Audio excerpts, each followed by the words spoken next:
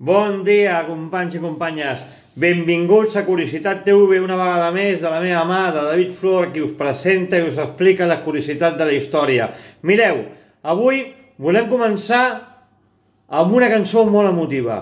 Volem començar amb una cançó de The Hollies que es deia The, Hein, The Heavy Haze My Brother. Bueno, la meva, el meu anglès no és molt bo, però bueno, m'heu entès.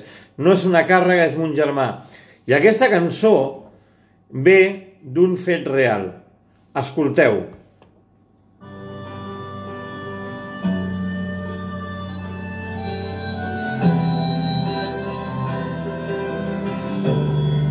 The road is long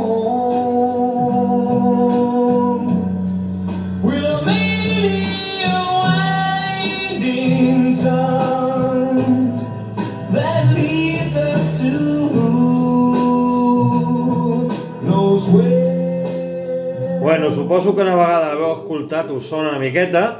I avui començarem aquest capítol de curiositats amb una cançó que d'escoltar-la i saber de què parla.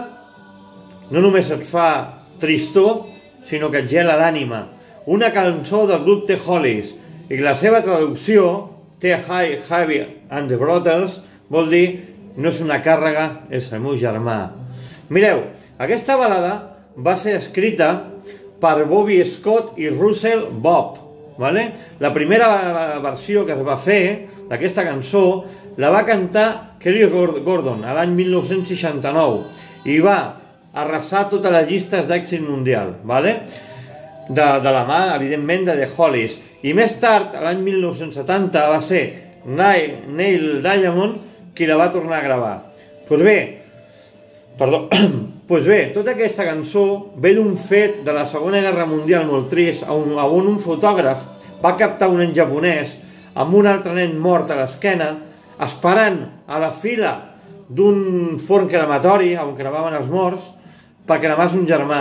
I quan li va arribar el torn, li van dir doma aquesta càrrega, no?, amb el nen, no? I el nen va contestar, perdoni, no és una càrrega, és el meu germà mort. I d'aquí ve aquesta cançó. Aquesta cançó. De The Hollies. Això passava a la Segona Guerra Mundial a l'any 1945. També hi ha altres versions, hi ha, una, hi ha una més antiga que va sortir a la revista que es deia Kiwanis, em sembla que és Kiwanis, a l'any 1924, o sigui, imagineu, 20 i pico d'anys endavant, no? Enrere. Després hi ha un altre a Washington DC, on un capellà eh, va veure un nen a un orfenat que venia amb, una, amb un altre nen darrere, també mort, i a l'arribar a l'orfenat li va dir això, de d'on la càrrega, i ell va contestar això, no, no és una càrrega, és el meu germà, no? L'última versió que parla d'això precisament és del 1884, que portava a l'esquena una nena, aquesta última versió, ¿vale?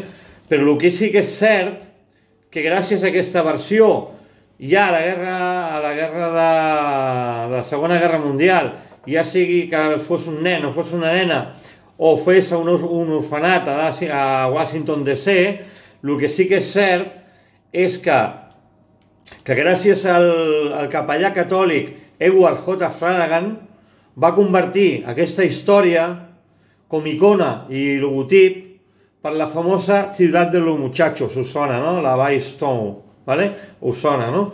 A Nebraska. Aquest fet, d'aquest fet, d'aquesta d'aquest nen, hi ha inclús una pel·lícula, escolteu,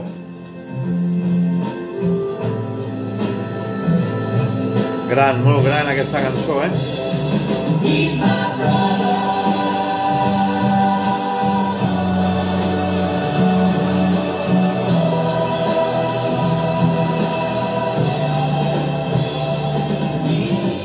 O com us deia, d'aquest nen, hi ha una, una, una, una pel·lícula molt coneguda que es va fer a Hollywood l'any 1938 que va ser protagonitzada per Spencer Tracy que protagonitzant el capellà Edward J. Flanagan. Bueno, i això és tot, companys i companyes. Un capítol més de curiositats. Avui hem pogut gaudir de la música, hem pogut gaudir de la música, hem pogut gaudir d'aquesta can d'aquesta cançó, que la torno a ficar de fons, i res més. Us espero demà un capítol nou de Curiositats CV, per mi, per David Flor. Recordeu que teniu el llibre a la venda, vale? el podeu trobar a Amazon, on hi ha totes aquestes curiositats i molt més. Ara estem preparant ja la segona versió del llibre. Espero que el compreu i us agradi, ja m'ho direu, que dongueu links a les, a les publicacions que fem de Curiositats CV, compartiu els vídeos i comenteu, evidentment. Les crítiques constructives ens ajuden a créixer. D'acord? Us estimo i us espero demà amb un nou capítol de Curiositats TV per mi, per David Flor. Adeu.